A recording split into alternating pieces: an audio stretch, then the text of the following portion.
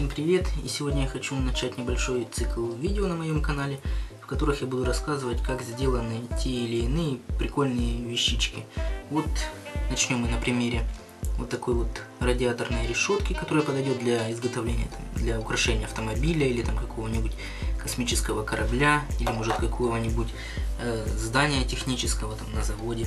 Э, ну и в дальнейшем что-нибудь подобное, там какие-нибудь, как сделать круг из лего, или там как сделать какую-нибудь э, крутое соединение, чтобы пины во все стороны торчали.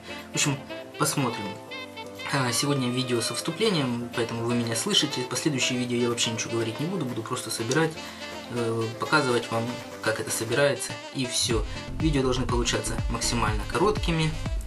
Ну и, собственно говоря, сделаю их, наверное, штук 5, посмотрю по вашим лайкам и просмотрам, как вам нравится, не нравится. Если нравится, будем продолжать, если нет, то нет.